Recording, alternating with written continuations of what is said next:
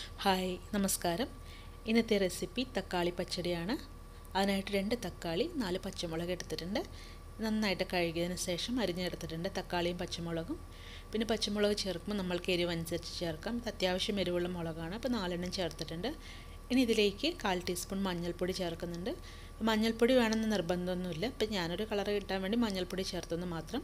ഇനി ഇതിലേക്കുള്ള ഉപ്പും ഒരു അരക്കപ്പ് വെള്ളം തക്കാളി വെന്ത് കിട്ടാൻ ആവശ്യമായിട്ടുള്ള വെള്ളം മാത്രം ഒഴിച്ചിട്ട് ഇതൊന്ന് അടച്ച് വെച്ച് വേവിക്കാൻ വയ്ക്കാം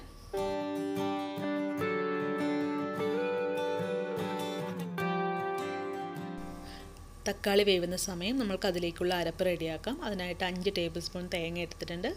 കാൽ ടീസ്പൂൺ ചെറിയ ജീരകം അര ടീസ്പൂൺ കടുക്. എന്നിട്ട് ഇതിൽ അരഞ്ഞു കിട്ടാൻ ആവശ്യമായി കുറച്ച് വെള്ളം മാത്രം ഒഴിച്ച് നല്ല ഫൈൻ പേസ്റ്റാക്കി അരച്ചെടുക്കാം. ഇടയിൽ ഈ തക്കാളി ഒന്ന് തുറന്ന് നോക്കിയിട്ട് ഇളക്കി കൊടുക്കാം. ഈ തക്കാളി നന്നായിട്ട് വെന്ത് കിട്ടണം.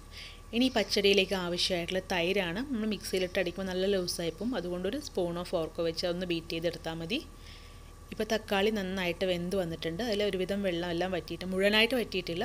തക്കാളി നന്നായിട്ട് വെന്ത് വന്നിട്ടുണ്ട്. ഇനി ഇതിലേക്ക് അരപ്പ് ചേർത്ത് കൊടുക്കുന്നുണ്ട്. അപ്പോൾ അരപ്പ് ചേർത്ത് കൊടുക്കുന്ന സമയത്ത് ലോ ഫ്ലെയിമിൽ വെച്ച് ചേർത്ത് കൊടുക്കുക. എന്നിട്ട് അരപ്പ് ചേർത്ത് നന്നായിട്ട് ഇളക്കി കൊടുക്കുക. ഒരു ഒന്നോ രണ്ടോ മിനിറ്റ് മാത്രം മതി. അരപ്പ് ചേർത്തിട്ട് ഒന്നോ രണ്ടോ മിനിറ്റ് കഴിഞ്ഞും സ്റ്റൗ ഓഫ് ചെയ്ത് മാറ്റി വയ്ക്കാം ഈ തേങ്ങയുടെ പച്ചമണം മാത്രം മാറിയാൽ മതി. അതൊന്ന് ഓഫ് ചെയ്ത് മാറ്റി വയ്ക്കാം ഇനി ഇതിലേക്ക് തൈര് ചേർക്കണം. ഇപ്പോൾ തക്കാളിയിൽ പുളിയുണ്ടല്ലോ.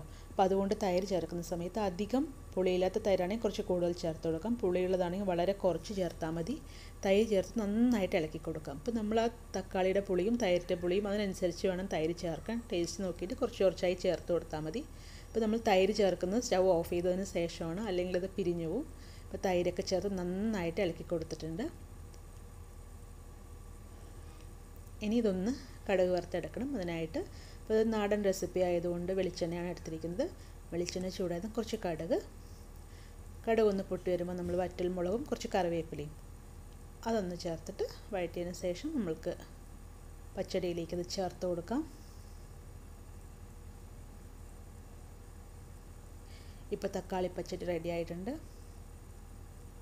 ഇത് മഞ്ഞൾപ്പൊടി ഇടാതെയും വെക്കാം. അപ്പോൾ മഞ്ഞൾപ്പൊടി ചേർക്കുന്നത് നമ്മൾക്ക് വേണമെന്നുണ്ടെങ്കിൽ മാത്രം ഇപ്പം നമ്മളുടെ തക്കാളി പച്ചടി റെഡി ആയിട്ടുണ്ട്. താങ്ക്